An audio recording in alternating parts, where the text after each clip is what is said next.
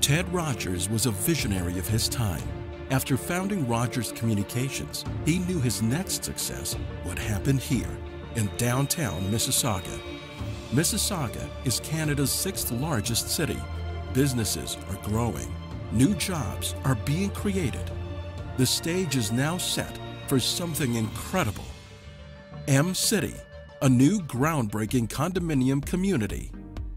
M City is in the heart of Mississauga, with its residents at the center of it all. For fashion and entertainment, Square One is at your doorstep.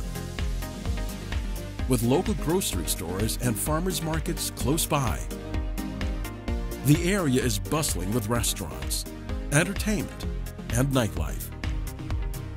M City is also central to Mississauga's arts and cultural scene.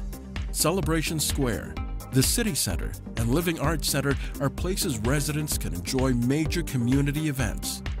M City has over two acres of parkland that connect to the John Bud Cleary Park and Kariya Park.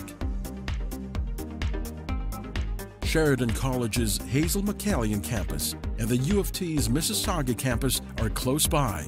Students living at M City can head to campus or the Central Library within minutes. Getting virtually anywhere is simple with easy access transit in every direction. M City's 10 tower community faces Burnhamthorpe Road, one of the city's major thoroughfares. M City residents can also connect to people in their community with Rogers' leading edge technology and high speed internet.